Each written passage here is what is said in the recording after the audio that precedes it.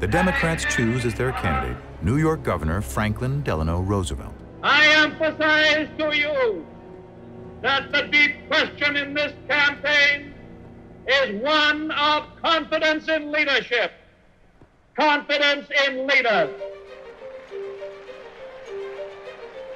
FDR offers a plan.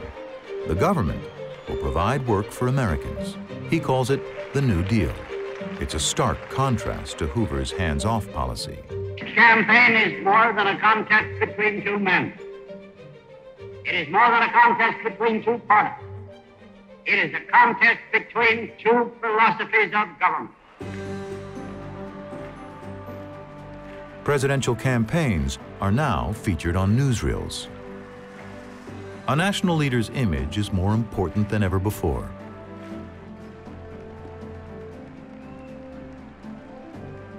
Roosevelt appears to be an energetic candidate, but actually, he has something to hide.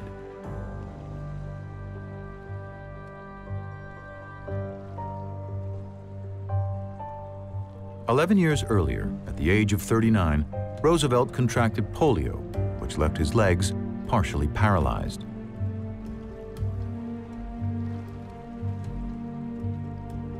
He fears people won't vote for him if they know the truth about his condition.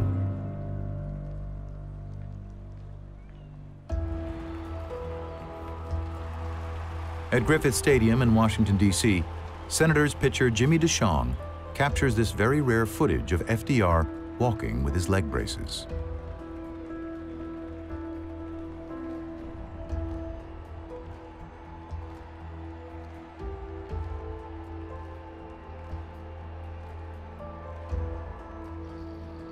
Ultimately, FDR comes to an agreement with the press. No photos of him walking or getting in and out of cars. This footage shows the security detail signaling for the cameras to cut as FDR prepares to leave his car.